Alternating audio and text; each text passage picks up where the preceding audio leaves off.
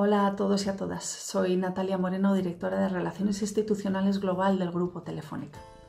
Desde 2001, Telefónica y la Fundación Carolina vienen colaborando de forma activa en programas de cooperación iberoamericana en materia de ciencia, cultura, tecnología e innovación.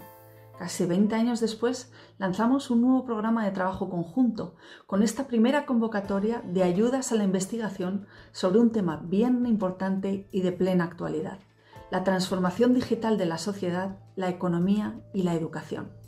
Hasta hace apenas unos meses solíamos decir que existían dos mundos, un mundo físico y otro virtual pero la pandemia del COVID-19 ha acelerado de forma vertiginosa la transformación digital de nuestras sociedades y de nuestras economías, planteando nuevos retos y nuevas oportunidades.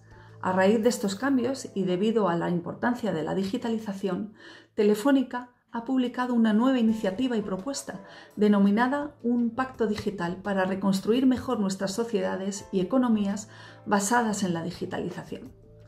Se trata de una nueva propuesta para garantizar una transición digital sostenible a largo plazo, con un enfoque colaborativo entre los sectores público, privados, la academia, la sociedad civil, combinando aspectos económicos, sociales, medioambientales y alineados con los ODS de la Agenda 2030.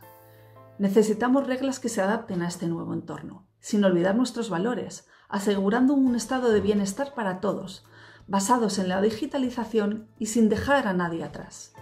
Por ello, queremos a través de esta convocatoria ampliar el debate y la generación de conocimiento de los aspectos más relevantes relativos a este nuevo pacto digital, alineados con los ODS de la Agenda 2030.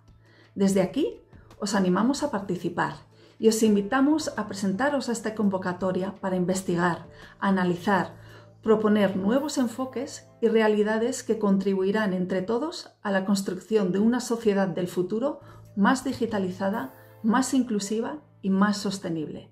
Os esperamos. Muchas gracias.